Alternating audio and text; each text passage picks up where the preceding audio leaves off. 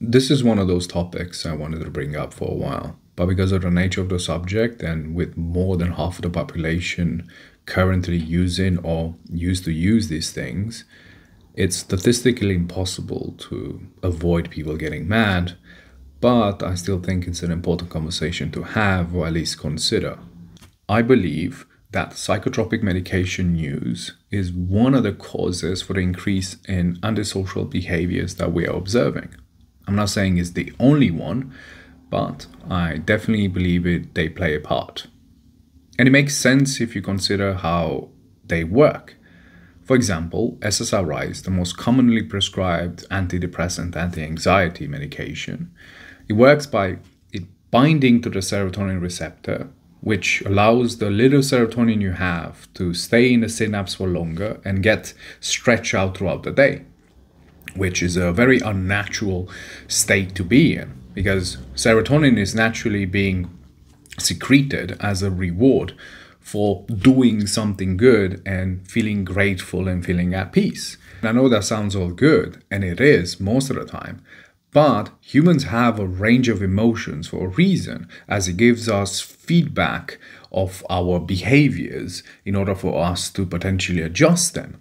But now, when you have a constant state of I'm doing good, no matter what, people who engage into behaviors that are antisocial towards others would normally get the sense of anxiety or guilt that is no longer happening because the medication does not allow it to happen. So they believe that their behaviors are acceptable because they don't get a negative feedback. And then we have to consider that most of these medications were designed to be used temporarily for like three months until someone stabilizes and gets some momentum, and only in a fraction of a percent to be used long term. But we all know that's not the reality.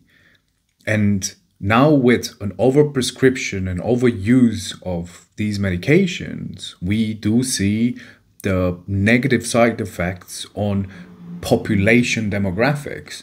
And we can use at uh, the extreme examples of school shooters and very extreme antisocial behaviors that most of them are on this type of medication.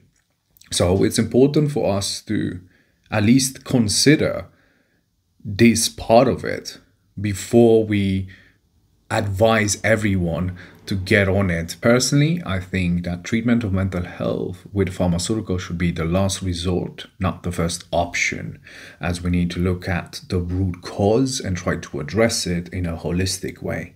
And by sedating those uncomfortable emotions, we cannot explore those emotions in order for us to see what the root cause and deal with it therefore trapping us in this endless cycle of numbness. But hey, what do you think?